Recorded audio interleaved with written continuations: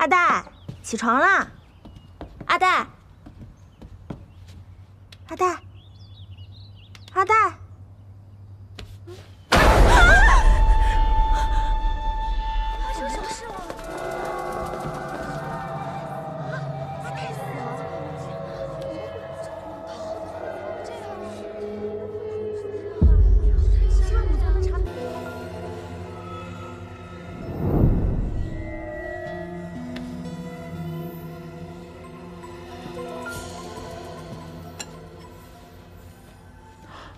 公子，此物为金猴菇，因其外表呈金乌色而得名，多长于大炎地区，吸烟较少。这位姑娘就是服用了此物，故而毒发身亡。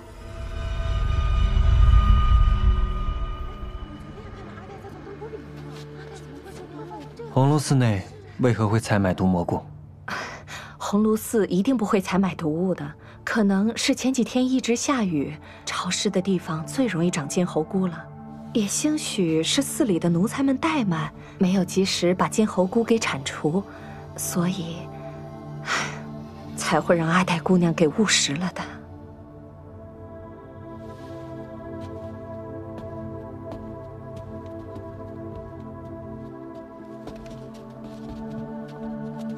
阿黛是误食了金猴菇中毒身亡。红炉寺内并没有刺客。你记着，往后黑的东西都不要吃，吃了黑的东西也会变黑的。阿黛绝对不会是巫师。为何不怕阿黛？别别别别别别杀我！阿黛她她是自己吃蘑菇吃死的。说实话，不说我要你把蘑菇全吃了。初八晚上离开过红炉寺的女人，那个女人手上有烫伤，我找到阿黛，他们说找错了，可阿黛手上明明就有烫伤，然后他们又让我重新找。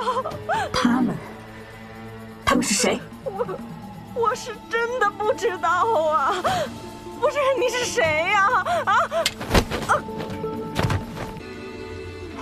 苦的饼不能吃，我明天再做一次。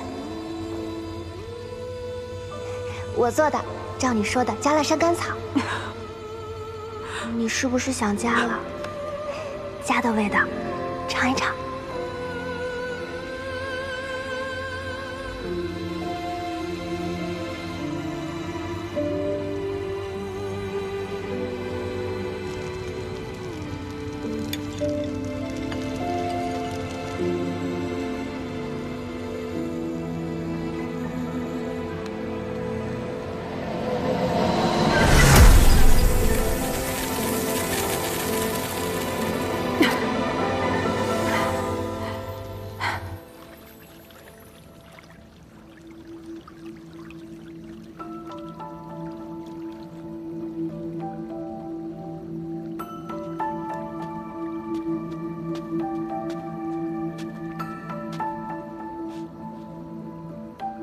何事？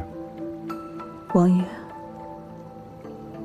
今日死了一个吸烟美人，右手手腕有伤，是被尚嬷嬷误杀的。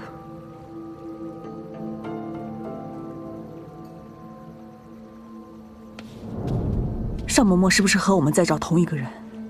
是。他背后的人是谁？是不是和屠神真凶有关？只有找到张印的下落，一切才能真相大白。他们知道杀错了人，就会继续找人；他们找不到人，就会滥杀无辜。那就让他们杀我，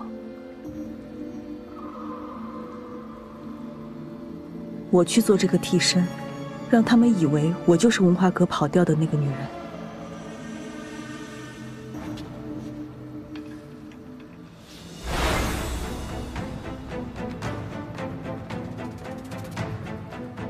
我不想再看到第二个阿泰死在我的面前。